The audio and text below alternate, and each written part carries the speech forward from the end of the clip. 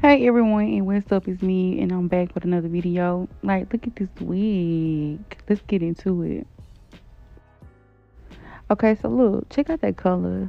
So look on the inside of the wig. It's a T-part wig, and it does come with four combs, adjustable straps, and some bottom built-in straps. Okay, so let's get into it, poo. Like, this was a quality wig, a quality.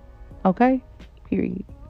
Now look at me, check me out. I'm just adjusting the wig on my head. For some reason, this wig felt really snug to my head.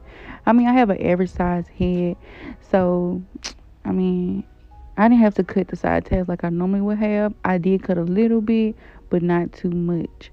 But right now, what I'm doing, I'm doing the process of laying my glue down.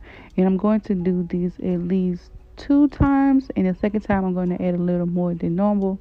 Usually I would do this three times, but two was enough. Okay, so now I'm about to take the end of my comb and I'm about to spread it out and thin out the layer of the glue. Now, this particular day, the video may seem like it's a bit rushed, but it's not. I was having so many things going on at once, and I, like I said, like like I'm going to say in the video, like I was so eager to get this video out for you guys and you know put out some good content because you know i'm trying to be consistent over here. So leave me some kind words of encouragement down below. Also you know don't forget to hit that thumbs up button and don't forget to subscribe to my channel to see more quality wigs or just wigs in general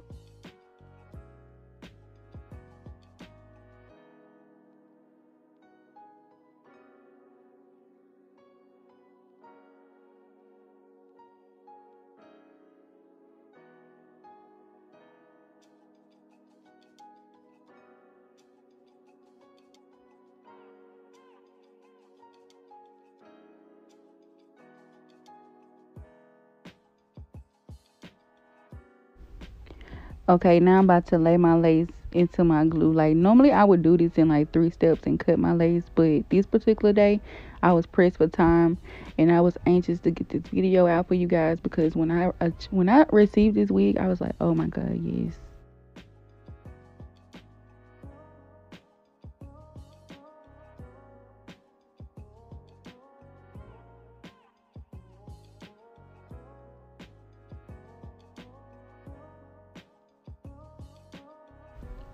And don't be afraid to press your lace into your glue with your fingers. Like that'll help you too.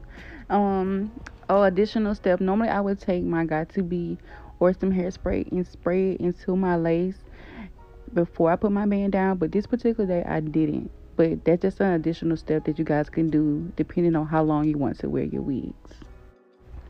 Okay, so now I'm about to clip my hair up and tie my melt band down into my lace. Now, don't do these tie it in the back and let it melt for like 10 minutes. This particular day, like I said before, things were going wrong. So I tied it in the front and I flipped it around. But hey, it still worked. And you can leave it down for 10 minutes. 10 minutes. Let it melt, sis. Let it melt.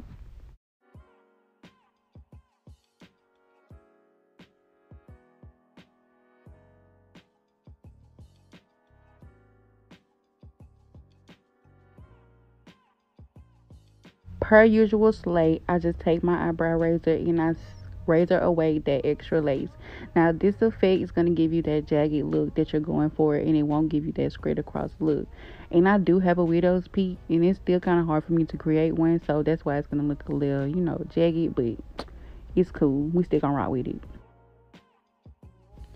So i did go ahead and do my baby hair off camera and the wig came to me straight but I did go ahead and pop in a few layers and a few curls in there because who just wants gray hair? You know what I'm saying?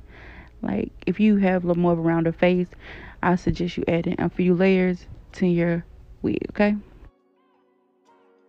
You know what I'm saying? Look at me feeling myself. Now, if you want to purchase this wig, this wig is 180 density.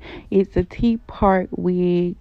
And it's also a frontal. And you can glue it down or wear it glueless and also also check the description box below for everything. I will leave all details below.